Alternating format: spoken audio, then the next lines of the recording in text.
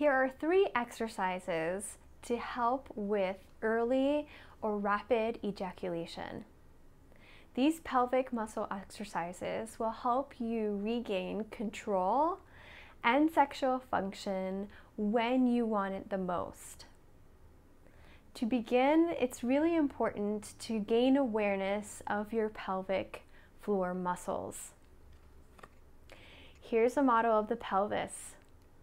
On the bottom, these are your sits bones. Those are the bony parts of the butt that you sit on. If you were to lie on your back and looked at the in between of the bony parts of the butt that you sit on, you will notice a set of muscles. These muscles aid in sexual appreciation, sphincteric control, support, stability, and act as a sump pump. They squeeze and release to help with ejaculation and expelling urine. So, for rapid ejaculation or early ejaculation, since this muscle, these muscles are intimately connected with the base of your penis, they can also aid in maintaining, sustaining, and helping to control um, ejaculation. Okay? So, gaining awareness of where these muscles are and how they function. So, just to get oriented, go ahead and gently squeeze around the base of your penis as if you were drawing your penis inward and let it go. If it's helpful, you can also put your hand in the area between the base of the penis and the scrotum so that you can feel these muscles activating and engaging. The important key here is to release after your squeeze. It's all about coordination. It's not always about the squeeze. It's how the squeeze and the release works together in conjunction to gain better coordination and muscle control. Another thing to note here is that the nerves that innervate your penis also live in this area. And so when you do squeeze and release and purposefully and intentionally work your pelvic muscles, know that you are also communicating with your nervous system. And your nervous system is the gatekeeper of erections, orgasm, and your experience of sensory stimulation in your most private areas. So, that being said, here are my three favorite exercises to work on as far in, in regards to pelvic awareness, muscle training, and also slowing down, particularly when we're most concerned about being able to control pleasure at, peak, at our maximum peak moment and controlling ejaculation. So the first one is 5, 10, 15, 20. You'll begin by gently squeezing around the base of the penis Breathe naturally, slow, steady, and smooth in your body while maintaining a 50 to 75% contraction or engagement of the pelvic muscles around the base of your penis for five seconds. Let it go. Breathe deeply and naturally again, using your breath to control the rhythm. Squeeze again, hold for 10 seconds.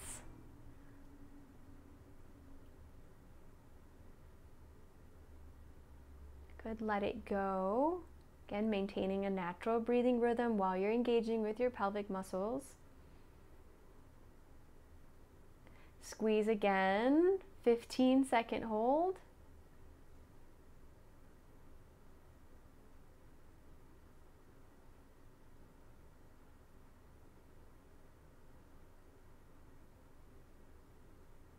Good, release. And lastly, 20 seconds. But again, give yourself a rest break in between these activities. Remember, it's important to be aware of the squeeze, but also be aware of the release. And when you're ready, squeeze for 20 seconds.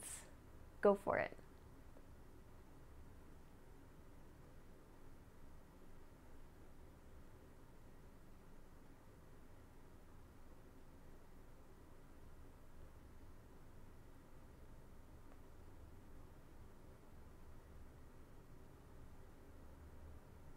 And release.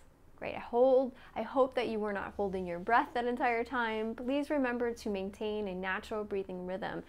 The, the rate of your, your respiratory rate is actually important to help to slow down the autonomic nervous system that is in charge of flipping the switch from erection to ejaculation.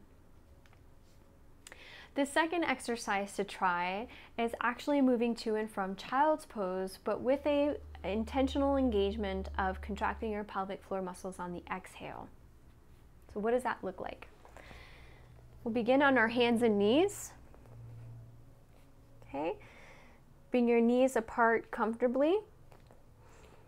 Take a nice deep breath in, allowing the belly to relax and the penis and the scrotum to gently hang.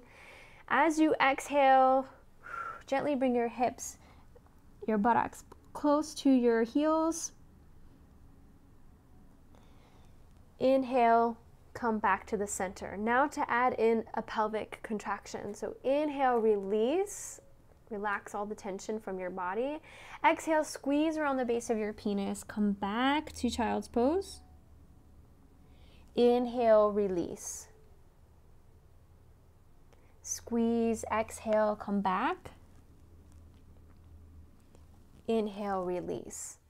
And you can do that for several repetitions. Again, getting a greater awareness of uh, movement and breath. And really, it's about body awareness and recognizing the sensations of your body when you're engaging your pelvic muscles so that you're more aware when you are participating in sexual intimacy to. Um, apply strategies in order to slow down just a little bit, especially if you're not ready to ejaculate. And then the third exercise is cat cow.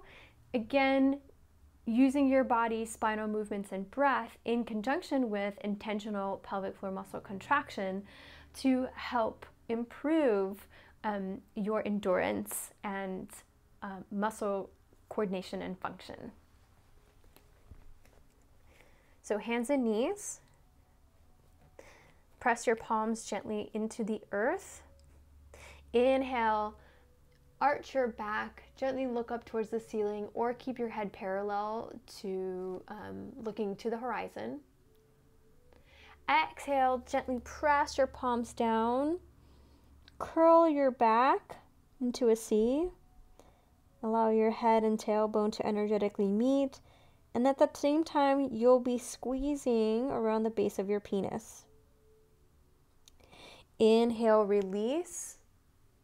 Arch your back, look up or to the horizon.